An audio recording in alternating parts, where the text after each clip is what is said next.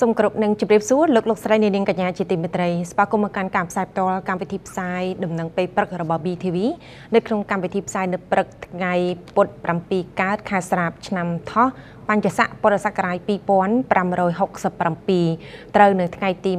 23ខែសីហាឆ្នាំ2023នៅក្នុងថ្ងៃនេះពីកម្មវិធីក៏នឹងបន្តផ្ដល់ជូនលោកនាងនៅ ព្រឹត្តិការណ៍ព័ត៌មានសំខាន់សំខាន់ជាច្រើនទាំងព័ត៌មានក្នុងប្រទេសក៏ដូចជាព្រឹត្តិការណ៍ពិភពលោកវិជាលាជាស៊ីមសាមគ្គីជួបជុំមហាសាមគ្គីដើម្បីអបអរសាទរឯកឧត្តមហ៊ុនម៉ាណែតចូលកាន់តំណែងជានាយករដ្ឋមន្ត្រី នៅល្ងាចថ្ងៃទី22ខែសីហាឆ្នាំ2023លោកជំទាវអុកញ៉ាហែមចិន្តាអគ្គមហាឧបាសិកាពុទ្ធសាសនូបឋមបណ្ឌិតម៉ៅម៉ាឡៃកៅកំយ៉ានរួមនឹងលោកជំទាវភរិយាថ្នាក់ដឹកនាំបានអញ្ជើញចូលរួមជាអធិបតីភាពនៅក្នុងពិធីជួបជុំមហាសាមគ្គីជាមួយនឹងគណៈគ្រប់គ្រងសាលាវិជាការរងលោកគ្រូអ្នកគ្រូនៃវិទ្យាល័យជាស៊ីមសាមគ្គី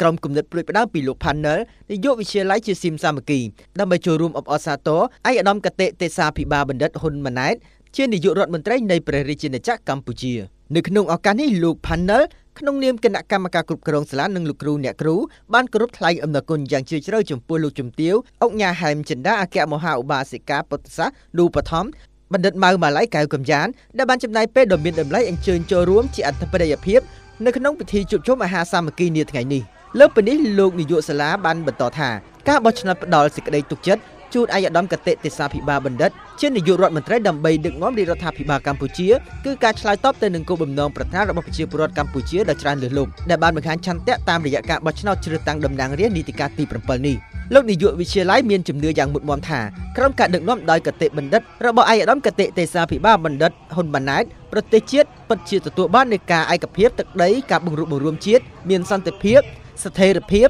និងការអភិវឌ្ឍលើគ្រប់វិស័យកាន់តែខ្លាំងឡើងថែមទៀតគូបញ្ជាក់ផងដែរថាអាយដាមកតេទិសាភិបាលបណ្ឌិតហ៊ុនម៉ាណែតនាយករដ្ឋមន្ត្រីនៃព្រះរាជាណាចក្រកម្ពុជាត្រូវបានរដ្ឋសភានីតិកាលទី7បោះឆ្នោតផ្ដល់នូវសេចក្តីទុកចិត្តជានាយករដ្ឋមន្ត្រីនៃព្រះរាជាណាចក្រកម្ពុជា